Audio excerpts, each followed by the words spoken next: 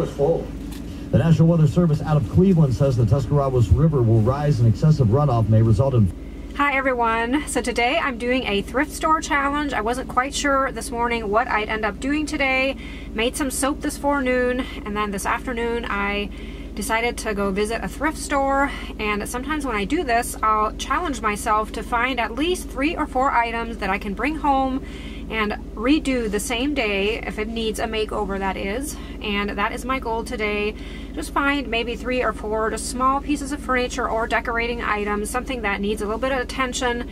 Uh, take them home and then redo them and then usually I end up selling them in my booth at the antique mall. So I'll take you guys with me as I go about doing this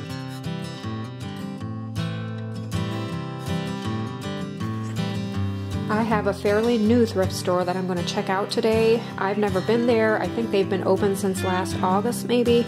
Uh, it's called Mission Thrift. I'm really excited to see what they have.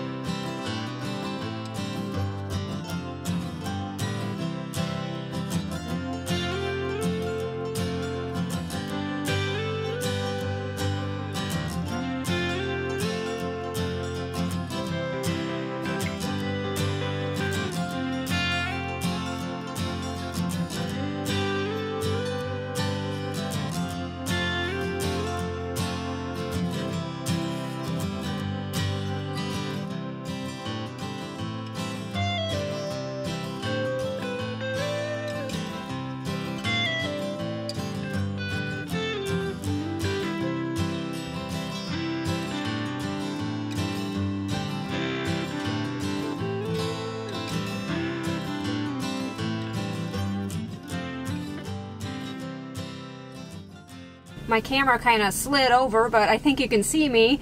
I did quite well in that store. I'm really impressed. I didn't get a video of everything. I ended up buying a few little pieces of furniture. Uh, very friendly people in there. They helped me load. And I didn't want to walk around with my camera uh, recording everything. Always makes me kind of uncomfortable. I feel kind of rude, I guess, to do that.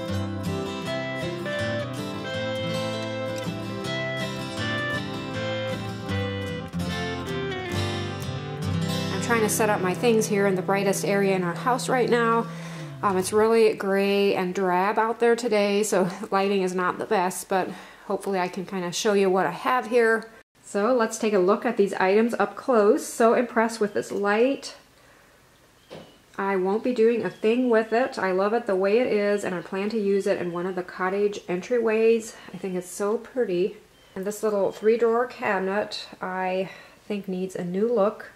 It's a little bit sad looking. At this point, not quite sure what I'll do with it. And this chair caught my eye too. I really like how it sits and also the look of it, except I'm not fond of the color. Imagine I'll probably paint it. You guys know how I'm always attracted to trays. I'll probably paint this one and put some pretty wallpaper in the bottom. And the knife is for my soap kitchen. I need one to cut my shea butter with. And ah, these cups, another one of my weaknesses. You probably know what I plan to do with them. Yep, they're going to be turned into pretty little candles. Uh, I thought they're just so adorable. Um, I don't know, is it just the fact that I'm getting older that I'm just so attracted to some of these dishes, like cut glass like this. Hopefully the camera is picking that up. I'm having a hard time focusing. It's probably the bad lighting. And last but not least is this metal stand they called it a desk, but I would probably call it a stand. Although it could be, uh, being that there's no bar on the other side here, you could, you know, slide a chair in there. So join me as I work on these fun projects and enjoy.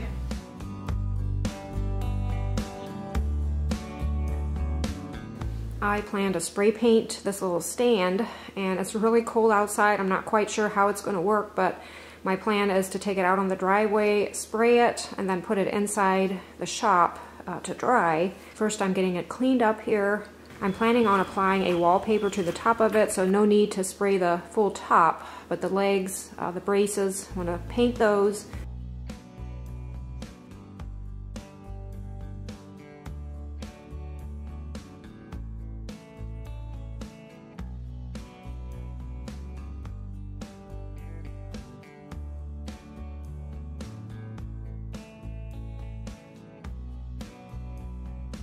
I'll get MB to help me carry this in, being that I'll probably get paint on myself if I try to do it alone.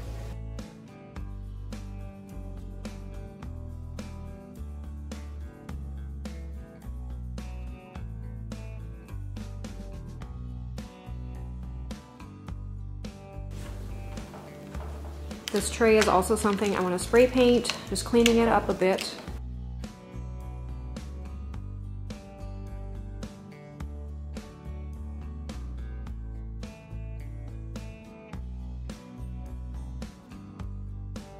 I'll go ahead and remove the drawers of this cabinet, uh, clean things up a bit, and I'll probably take the base part out to the shop and make things even on the bottom. Right now the cabinet is kind of wobbly, it's not setting straight on the floor. And I plan to add a wood top to the piece, so I'll look for that out in the shop.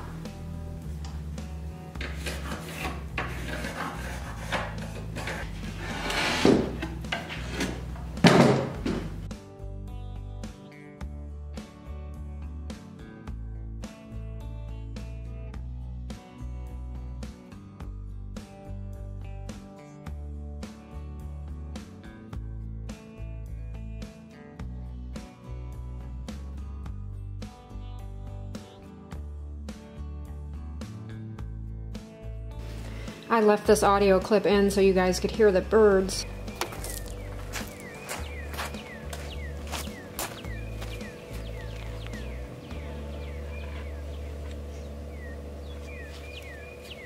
The way they're singing is always that first sign of the upcoming spring season. Can't wait.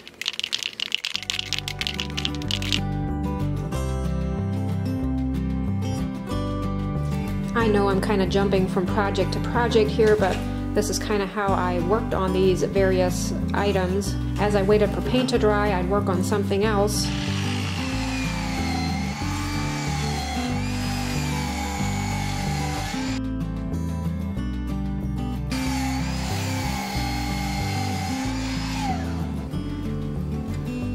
I ended up making the shelf for the metal stand and the top for the three drawer cabinet at the same time using the same kind of wood it's an aspen wood that we got at Menards.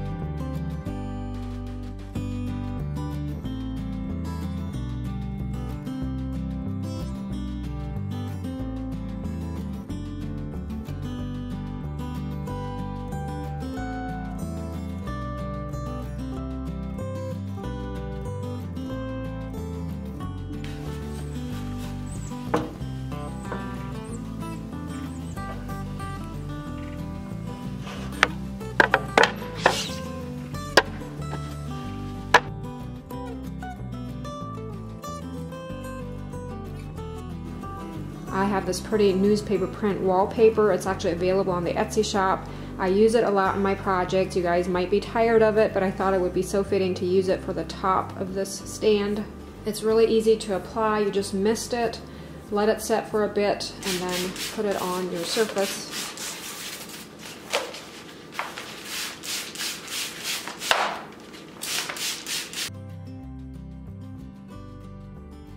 I always like to use a damp cloth when applying it, making sure I get all of those wrinkles smoothed out.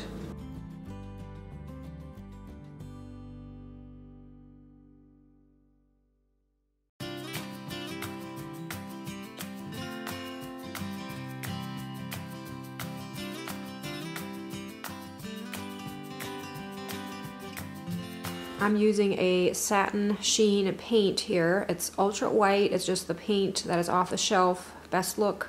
Unfortunately, it is thinned down. I had used it in my sprayer, uh, added water to it. Uh, it should work, but I'll probably need to add maybe an additional coat uh, just to get that coverage that I need.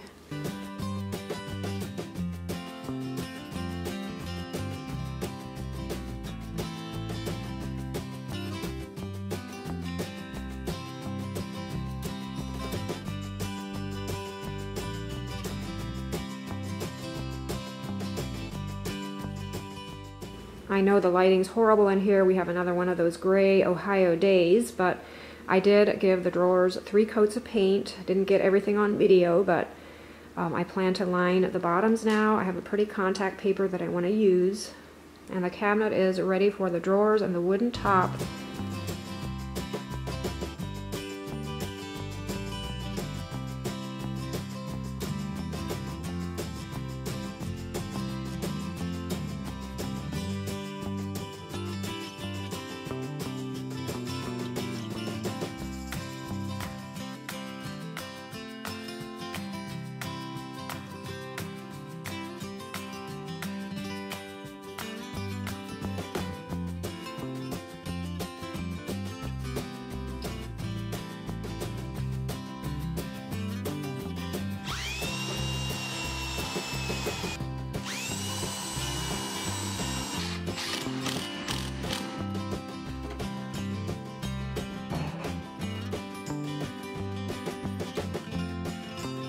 The last thing I want to do with this piece is apply some Annie Sloan clear wax to the top and then for the drawers I of course need some pulls and I just dug out some old ones that I took off a piece of furniture in the past. Plan to spray paint them white. It's probably not the prettiest pull but I think for this piece it'll work. Here I'm drilling the holes bigger for my pulls to fit uh, this little cabinet would look great in a crafting room to hold supplies or even in a kitchen maybe as a little coffee station. Cabinets like this are just great to fit into a small space, uh, keep things organized.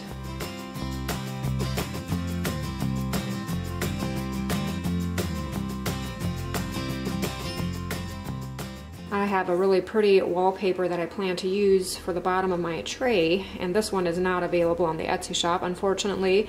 I had gotten it at Lowe's about a year ago I think so they may still have it but it's this pretty green and white uh, definitely very fitting for the spring season. Now there's a good chance I may ruin this chair guys but I'm going to try to paint it. Uh, the vinyl part here, it needs to be lightened up I have this pretty light greenish bluish color that I plan to use and the paint I'm using is an old paint that I found down in my storage. Um, it's a Valspar cabinet paint. It says it's oil enriched. Uh, I thought maybe it's fitting to use on a piece like this. So we'll see what happens.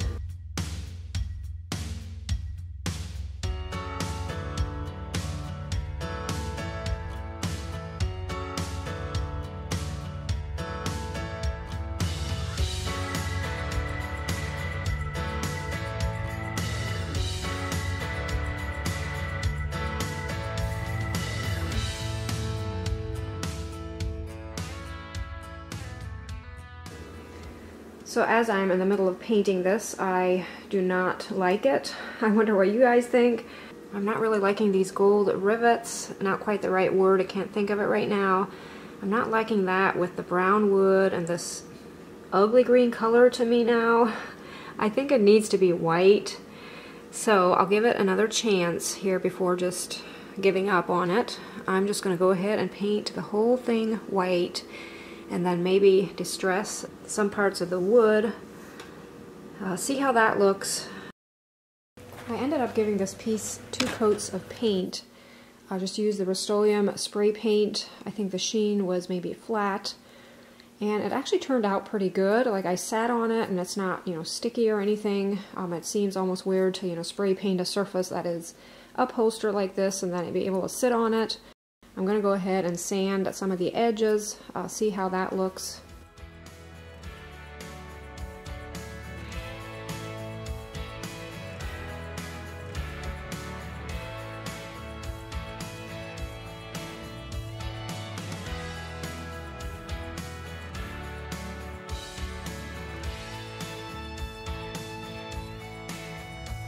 Chair, I know I want a French design of some kind, just a small one uh, on the back. And I'm going to apply it using a parchment paper method. Here I'm just cutting a piece of parchment paper the size of a piece of copy paper, 8.5 by 11 inches to fit into my printer.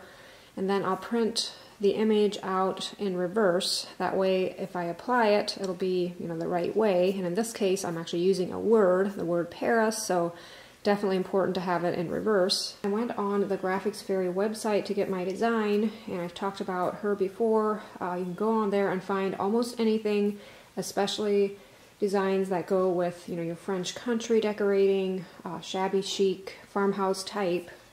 I get questions sometimes about this transferring method. I have an inkjet printer, that is what I'm using here, uh, printing it on parchment paper. And if your parchment paper doesn't want to go through your printer because it's so thin and it's kind of hard to get it to, you know, not jam up, I will sometimes tape a piece of parchment paper onto copy paper uh, just to get it through. You can take any hard object to rub this onto your surface. In this case, I'm using the end of a marker. And it's a little bit tricky to hold this in place being that my surface isn't completely flat. After the ink is dried, I want to give it a coat of in this case, I have chalked matte clear uh, top coat. It'll protect it um, so it doesn't come off. I'll probably spray paint the full back part. That way I don't, I don't have just one little spot that I applied this to and then it looks different from the rest. We have a cold 19 degrees this morning, so I'll definitely need to bring this inside to dry, but I've learned I can spray paint if it's cold like this.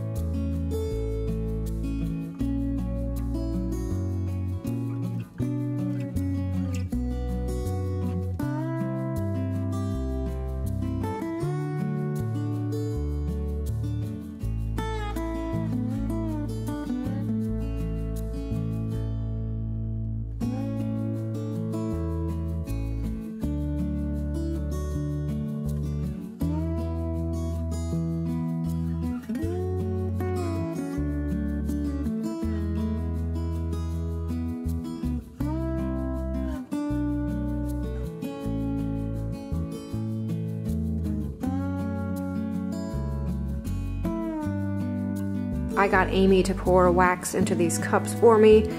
Rosemary sage is the scent. It smells so good. It definitely is reminding me of summer. I can't wait to burn this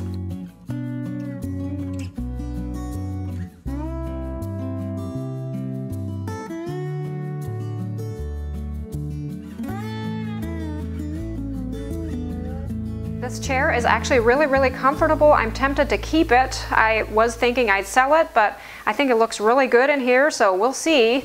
I hope you guys enjoyed this video. I sure had a lot of fun working on these projects. A few things I wanted to mention before ending here. First of all, those candles, aren't they the most adorable thing ever? I'm so impressed with them.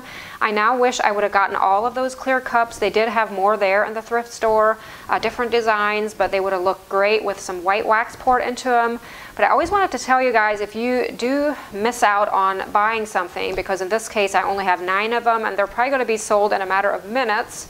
So if you miss out, make sure to keep an eye out for that listing because often what will happen is, in this case, I may end up going over to that thrift store and getting the rest of those cups and relisting some more. And also with some of our wood things that we make, uh, that sometimes happens, like we'll calculate kind of how many items we're able to get out of this piece of wood or whatever and we miscalculate and we actually have, which is good, we often have more than what we had anticipated. So we'll, you know, add a few more to the listing later on, you know, after it's been sold out. So always keep an eye out for those listings. The tray that I showed you uh, with the candles, uh, just a small wooden tray. It's so cute. John ended up finding some more wood. A guy had some cut off pieces he didn't want anymore. So he took those home and turned them into these cute little trays.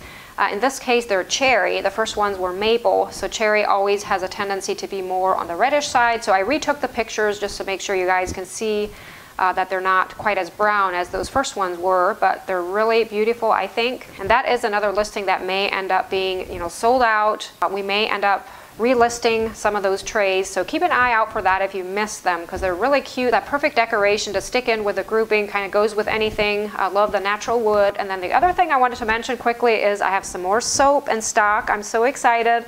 I've talked about this before on here, how I started making soap. I have my cousin Susie helping me and together we are making soap as fast as we can, just small batches and I love this soap. I hope you guys do too. Let me know what you think about it. But I do have a new batch that is cured and ready to go, and I think we're gonna have to come up with a system. Right now we're thinking of maybe the 15th of every month we would have a new batch of soap available. That way, if I don't get, you know, to mention it in my videos, you can always count on that if you're looking for homemade soap. Uh, just check out my Etsy shop the 15th of every month and there should be a new batch of soap up and ready to go. So enough about all that. Thank you guys so much for watching my videos. As many of you know, I publish a video every Wednesday at 9 o'clock Eastern Standard Time. And make sure to hit that subscribe button and the notification bell so that you can be notified when I publish a video because sometimes I will publish one in between my Wednesday ones. As always, I hope you're having a great day. Thanks again for watching and I'll see you in the next one. Bye.